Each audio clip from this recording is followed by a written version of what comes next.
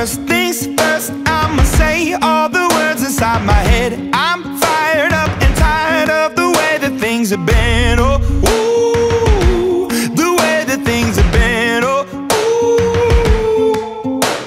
Second thing, second, don't you tell me what you think that I can be. I'm the one at the sail, I'm the master of my sea. Oh, ooh, the master of my sea. Oh,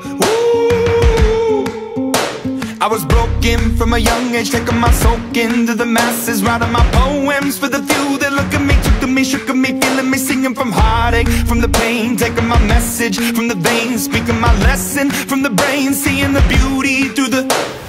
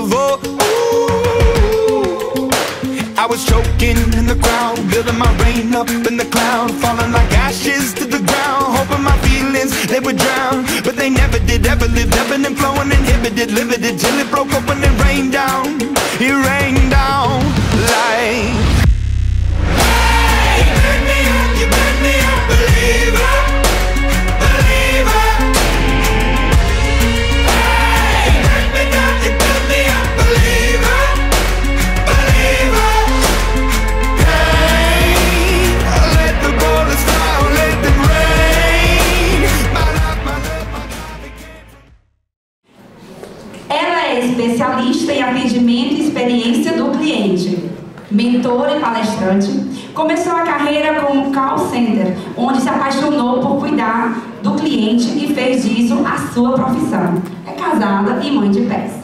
Após 27 anos no sistema financeiro, liderando equipes de atendimento e prevenção de riscos, a paixão por ensinar e desenvolver pessoas levaram a fundar a Nelis Experience para ajudar líderes e empresários a alavancarem seus resultados com o redesenho das jornadas de atendimento. Acredita que experiências humanizadas e seguras transformam os clientes em fãs e criam negócios. Com vocês, Nelly, no nosso palco do Ativa-te!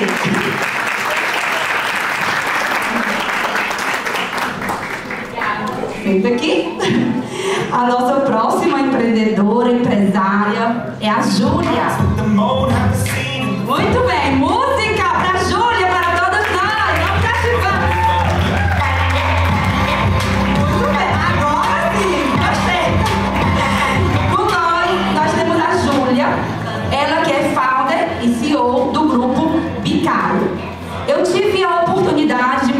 Pessoalmente ontem. Fiquei assim entusiasmada e muito assim, feliz de estar em um ambiente com essa mulher. Ela é especialista em posicionamento e diferenciação de negócios. Pioneira no ensino de gestão de marcas e vendas alto ticket na Europa. Palestrante e mentora de transformação autêntica. Sua missão é clara e inspiradora: gerar reconhecimento a mais mulheres, tornando-as mais valorizadas no mercado, bem posicionadas em suas áreas de atuações de forma exclusiva, e eu adorei essa palavra, magnética. Com vocês no palco ativa de Júlia Picard.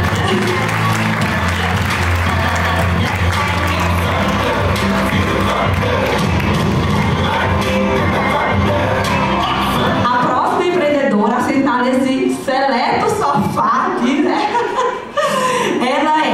especialista em destravar através das câmeras. Ela é mentora e criadora do Destravar através das câmeras.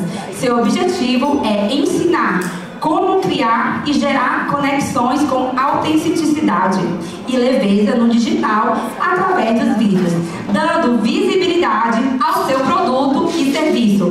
Com vocês no palco do Ativa-te, Ana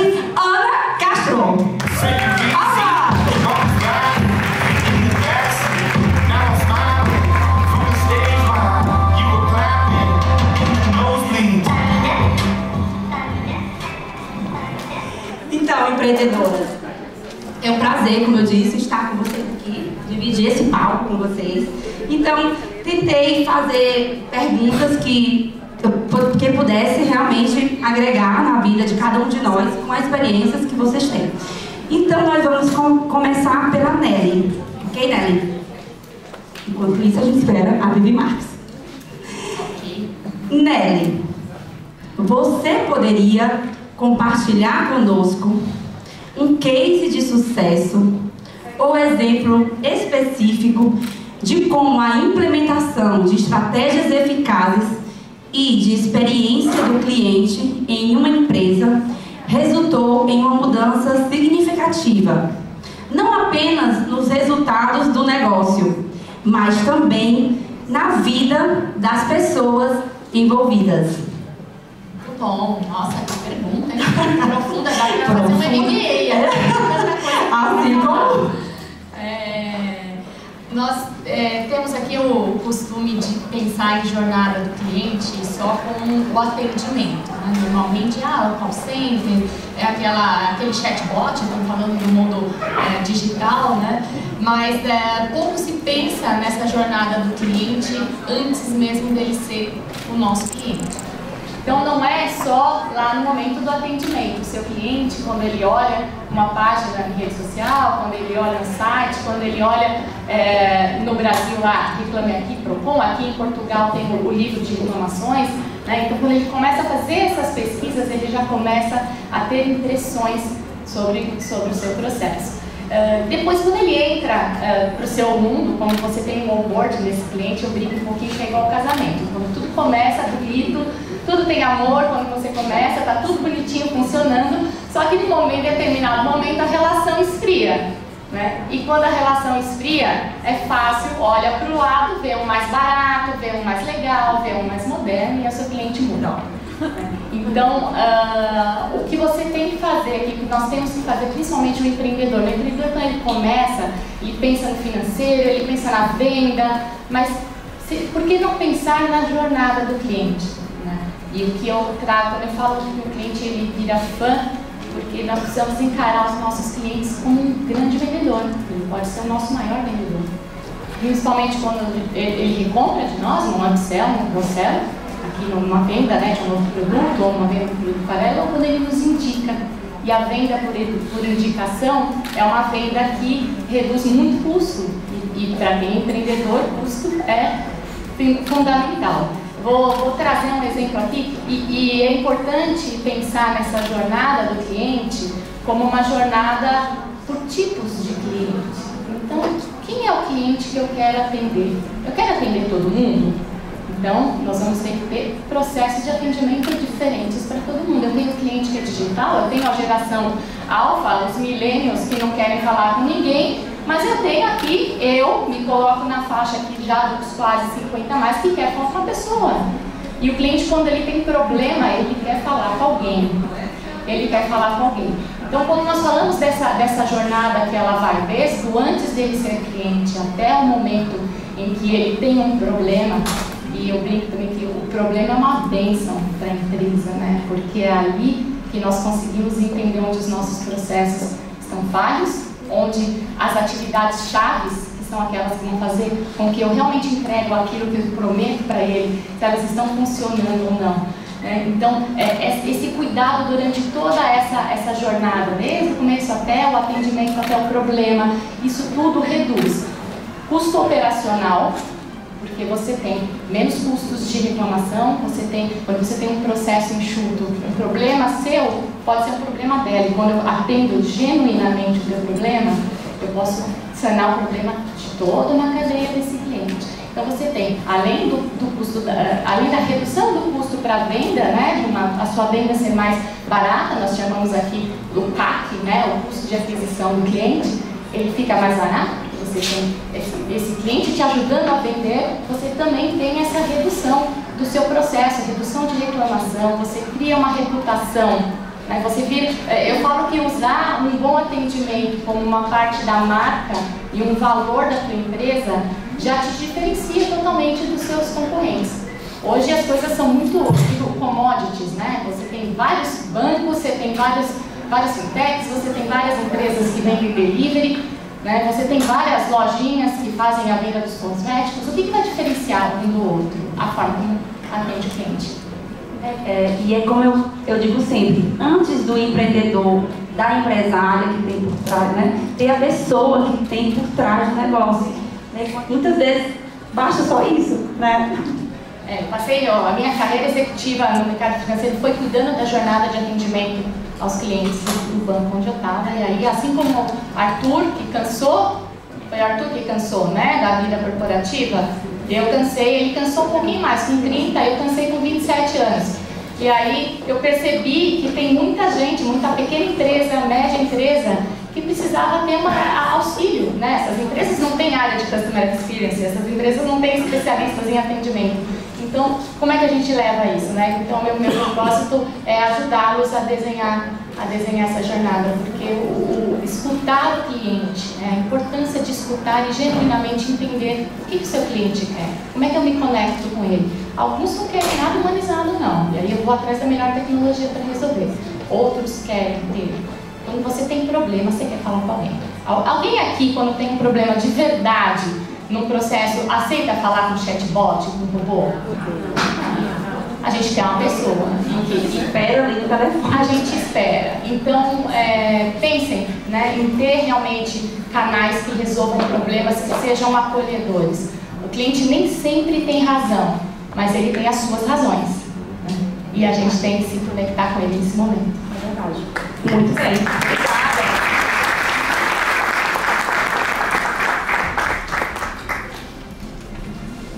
Júlia.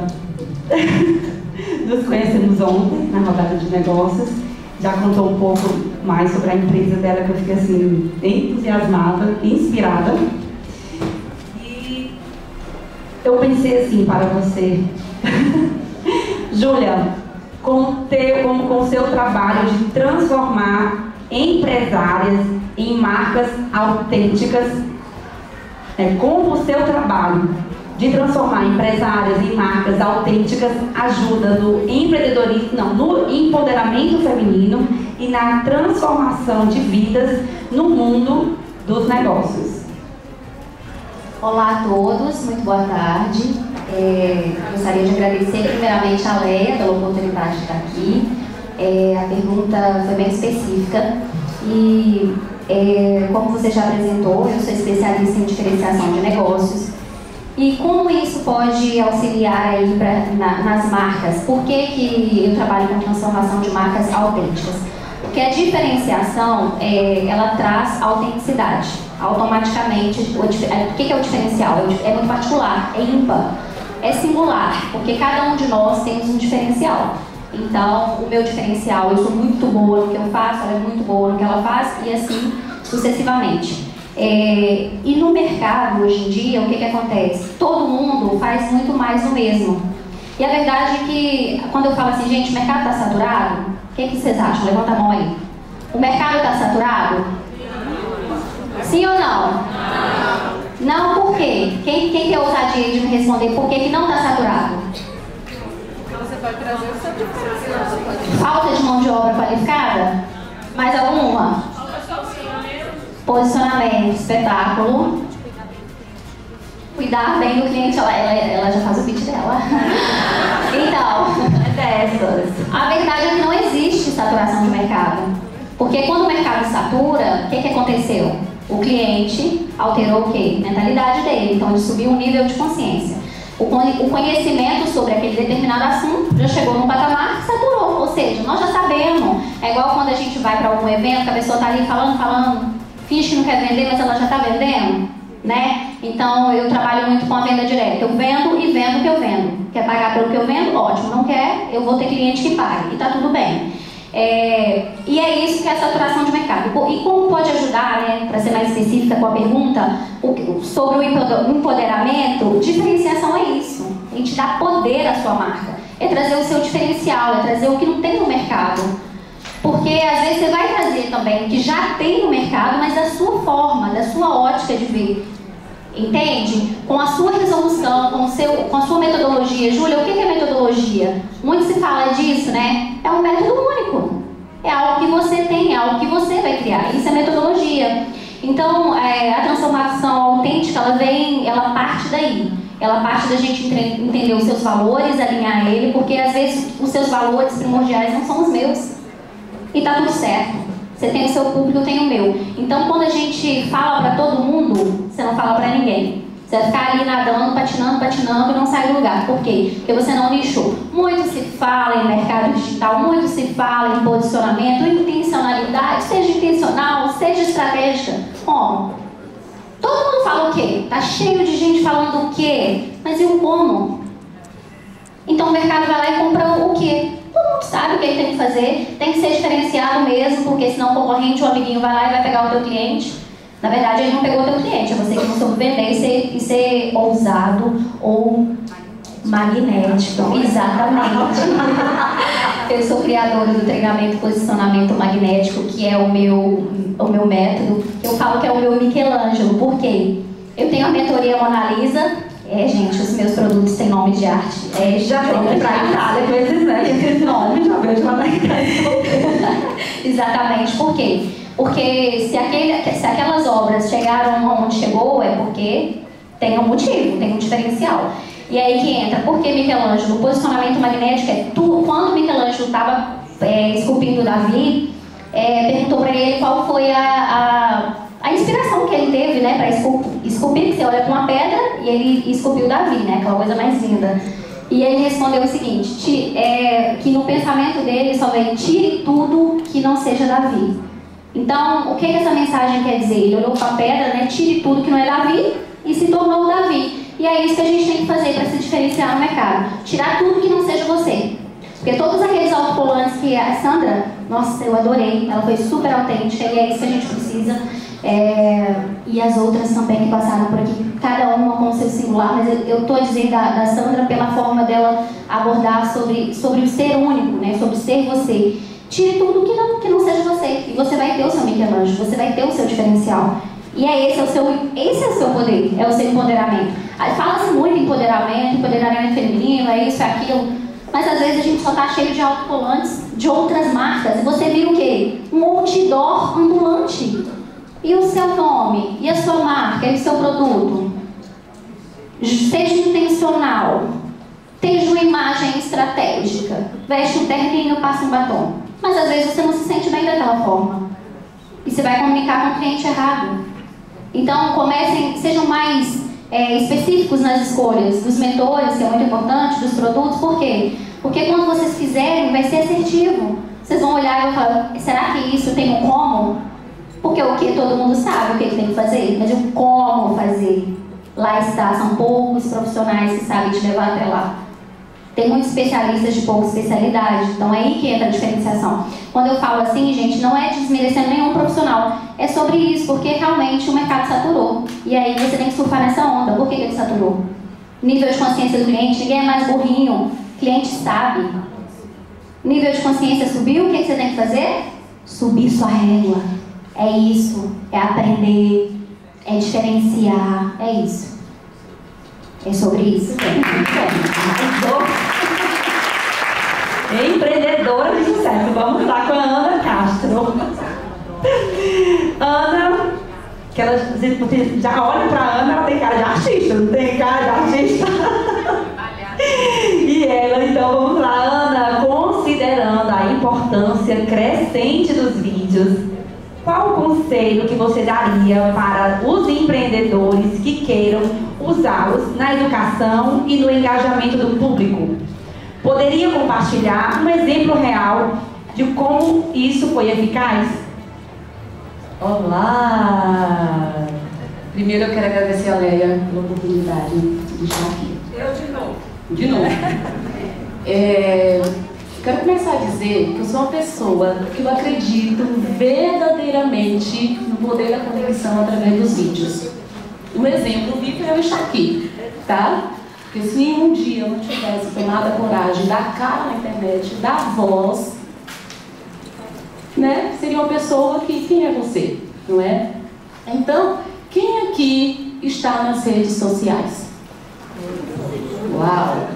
Quem aqui passa sua mensagem através dos vídeos, que grava, que fala do seu produto, do seu serviço? Ok. Tem uma, tem uma quantidade aqui também que não, que não faz, né? Provavelmente está aí só no texto escrito, né? Então, assim, hoje está todo mundo nas redes sociais. A rede social virou uma televisão online, que eu costumo dizer. Então você precisa estar lá. O teu produto precisa estar lá. Mas você precisa dar voz. Você precisa criar uma conexão, uma interação, uma confiança com quem está do outro lado através do vídeo à espera da tua mensagem. À espera do transbordo que você tem para fazer.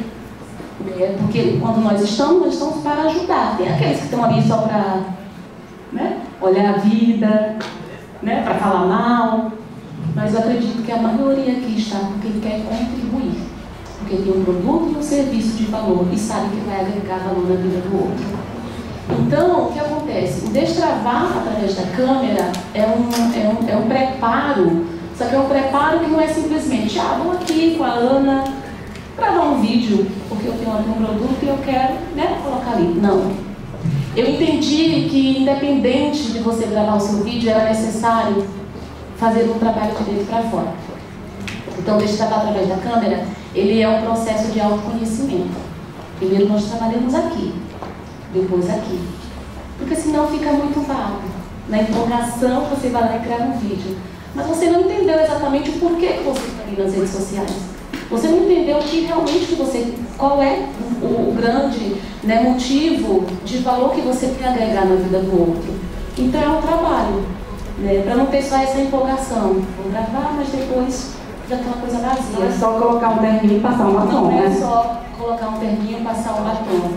E quando eu falo de autoconhecimento, você já prestou atenção que quando você abre a câmera do seu celular, você se arruma, você se olha com acolhimento, com amor, não é? Então é um processo de autoconhecimento, não é simples gravar. E tem vários benefícios quando você começa a falar do seu produto nas redes sociais. Você cria conexão com outra pessoa, a pessoa te enxerga, sabe quem está do outro lado, você gera confiança, não é? E é o que todo mundo precisa hoje nas redes sociais. É essa confiança, essa empatia. E você coloca através da câmera, você entende que o seu produto, não só o seu produto, mas você, que é a figura principal, colocar o olhar, a leveza e o coração.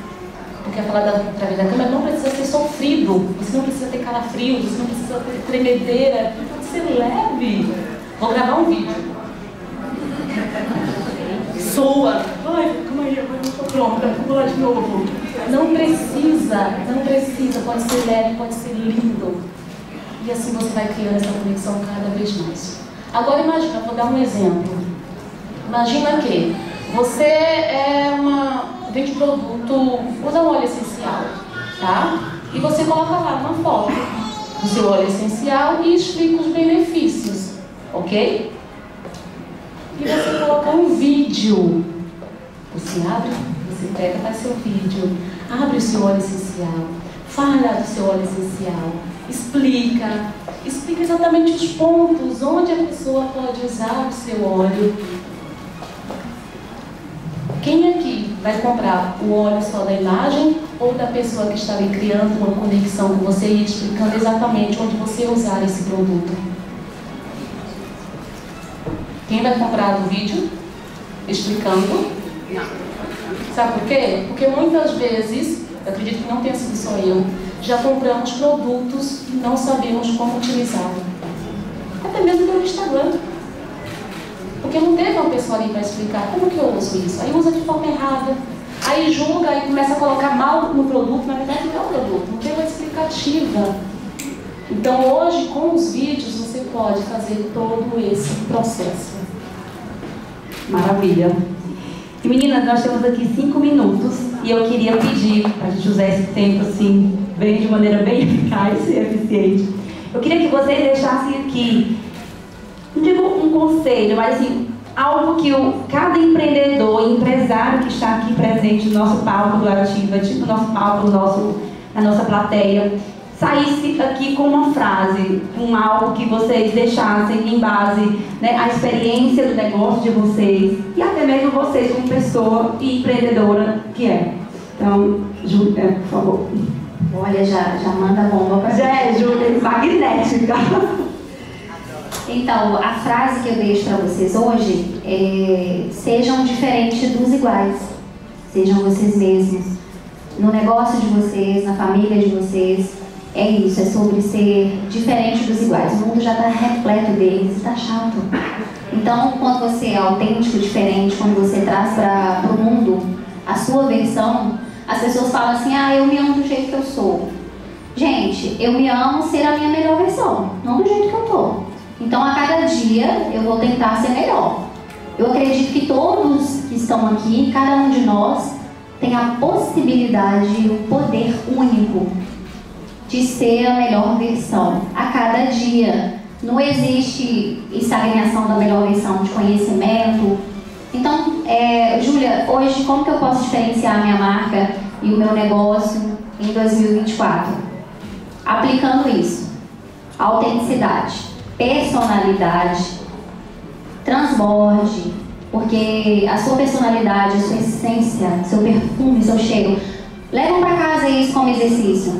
Chega em casa, bota na folhinha, ou bota até mesmo agora, é, qual é o, o, meu sabor que eu deixo na, na boca das pessoas? Qual é o meu cheiro, o meu perfume, a minha essência quando eu passo, nos lugares que eu vou, onde eu me posiciono, tanto na vida, tanto nos negócios. Qual é? Será que tá legal? Ela falou sobre reputação. Construa sua reputação. Gente, reputação é, é construída. Ah, eu sou assim, eu sou Gabriela. Nasci assim, morri assim. Não é. Construa a reputação. Sua empresa precisa da reputação. Você precisa. Tire pessoas e coloque pessoas. Você tem esse poder. Sua vida é como se fosse um tabuleiro de xadrez. O poder é seu de mover as peças. Então, para 2024, leva isso. Coloque lá em casa qual é o meu perfume, qual é a minha essência e transbordem a personalidade de vocês, que é o DNA de vocês transbordando para fora, é a essência de vocês. Obrigada. E obrigada. Obrigada, Júlia. A frase que eu sempre falo é: faça tudo sempre pensando no bem. Não só no bem do outro, mas no seu bem. Leia, quando junta a turma toda aqui, não está pensando no bem dela só, não está pensando só no bem dos outros, está pensando no bem do coletivo. Quando a gente pensa no bem do coletivo, intuitivamente a chance da, da coisa sair ruim está super diminuída, né? Porque você está com aquela intenção. E eu acredito muito que as boas intenções atraem bons resultados. Então, se você tem o bem no seu coração, para você, para o seu cliente, para a sua empresa, para o seu colaborador, não esqueçam do colaborador, né? a experiência do cliente passa também pela experiência do colaborador, pela sua felicidade. Então, façam tudo com bem. Quando tem bem no coração, não tem erro. maravilha, muito bem. É, eu quero dizer que se você não souber quem você é, o outro vai, vai fazer de você o que ele quer que você seja. Então tem uma coisa que é a identidade. E cada um tem a sua. Deus deu a sua identidade individual para cada um. Então não queira imitar o outro. Né? Deus deu uma voz para você, deu uma, né? uma, uma, uma, fisionomia para você. Então, não queira, ah, eu não gosto da minha voz na hora que tá gravando os vídeos. Ah, eu vou aqui imitar ali aquela menina do vídeo porque ela é mais bonita. Não. É a tua voz, é o seu tipo de voz, é o seu jeito, é a sua essência, é o de você ao ser autêntica. Então aceite com seus defeitos, né? Não somos perfeitos. Então é isso que, que vai te ajudar a realmente você criar e gerar uma conexão. Seja você e acredite no que você é. Aceite, porque senão o outro vai fazer você, vai colocar uma máscara que nem você vai saber quem você é de verdade. Que empreendedora! Então, cada um fala, né, as suas redes sociais, estamos temos aí 5 segundos. Então, por favor, todo mundo já abre aí os seus telemóveis. Castro Aninhas. Vai mudar. Vai mudar. O meu é Nelly, N-E-L-I-F-A-A. É ah, Vou mudar de novo. É que eu, eu tô com apego ainda do Instagram antes de ser empreendedora. Só pegar. O meu é Júlia Bicalho, oficial. Bora, gente, cadê os telemóveis? Bora, telemóvel, vamos levantar a menina, tirar aquela linda foto.